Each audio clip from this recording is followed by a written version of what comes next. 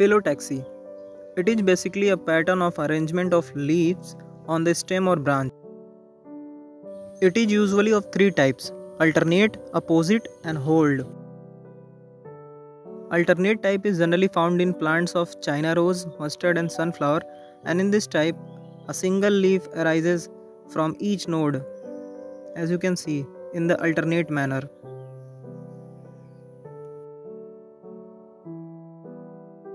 Opposite type This type is seen in plants like guava and calotropis, and in this type, a pair of leaves arises at each node, and that two leaves lie opposite to each other.